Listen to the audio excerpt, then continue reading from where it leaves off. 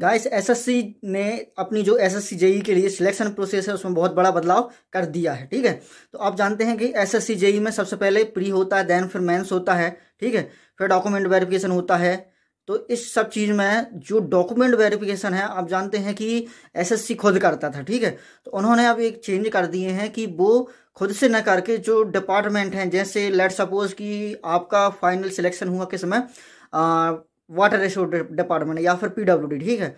तो वो जो डिपार्टमेंट है, वो खुद खुद अपने से आपका जो है डॉक्यूमेंट वेरिफिकेशन करेंगे, ठीक है? अब वो जब भी करें, उन सब की डेट अलग अलग हो सकती है। ये ज़रूरी नहीं है कि एक ही डेट में हो। सब विभाग जो करेंगे डॉक्यूमेंट वेरिफिकेशन अब उनकी डेट अलग अलग भी हो सकती है। मगर एसएससी जेई ने क्या एसएससी ने क्या कर दिया है? एक तो अपने से बोझ एक प्रकार का रिलीज़ कर दिया है, क्योंकि ना एसएससी खुद डॉक्यूमेंट वेरिफिकेशन करवाता था तो उसका भी शेड्यूल एक बनाता था, और ऊपर से उसके बहुत सारे एग्ज़ाम लाइंड अप भी होते थे तो एक हॉच पॉच क्रिएट हो जाता है। लेकिन अब एसएससी ने एक रिलीज़ कर दिया है अपने ऊपर से कि भैया, हम यहाँ से मेंस का रिज़ल्ट दे देंगे, ठीक है? फाइनल सिलेक्शन की जो मेरिट लिस्ट है, वो दे देंगे बंदों को और उनको हम डिपार्टमेंट अलॉट कर देंगे।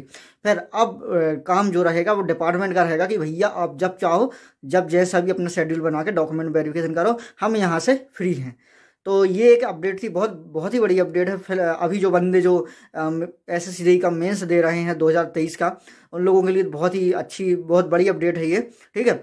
और ठीक है फिर ऐसी ही अपडेट के लिए।